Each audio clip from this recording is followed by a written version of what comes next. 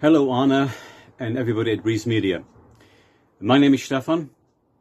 I am 48 and I'm from Nottingham.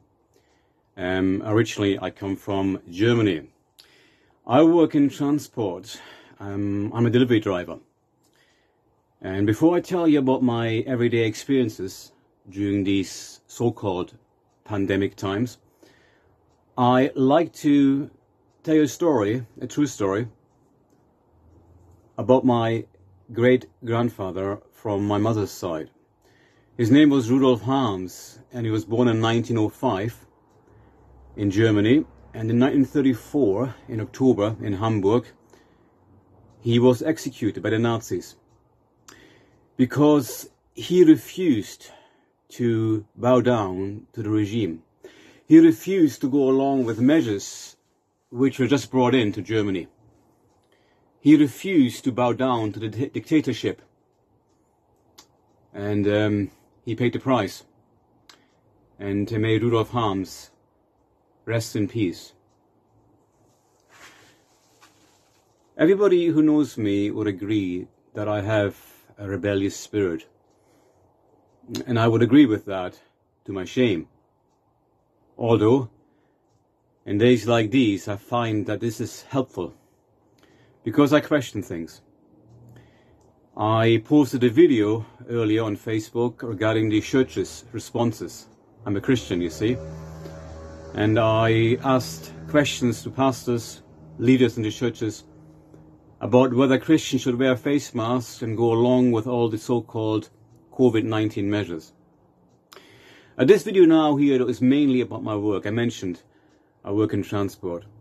So I come face to face with customers on their doorsteps as I deliver items to them.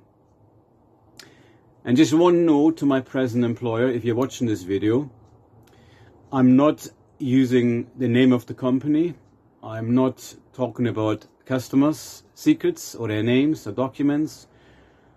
So any liability I take myself and um, there's no reason to harm me or any of these things that I say here right now regarding my employment. So when I deliver these items to the customers' doors, very often they just face myself behind their windows. They don't want to come too close. There is a real fear in their eyes. I can see it in their expectations. They sanitize their hands, they wear gloves, they wear masks. And these people, generally, the elderly people, they just watch the BBC, they watch the main media channels that are available. They watch, they listen to the headlines, and they really believe this is a really serious so-called pandemic. And so you see, it's good that we have channels like this, and I believe that um, Brees Media and other channels on the internet should be circulated. And expert opinions, doctors, scientists, so we get a balanced view on things. It's no point in talking about so-called conspiracy theories. All of us have access to facts and figures. In my home country, for example, as well, there's a movement starting and it's getting momentum. People are going on the streets in London, in Berlin, in Dublin. That's a good thing. Peacefully. We're just asking for our human rights, for the basic principles of freedom. Thank you very much for watching this video and please share it with others. Thank you very much.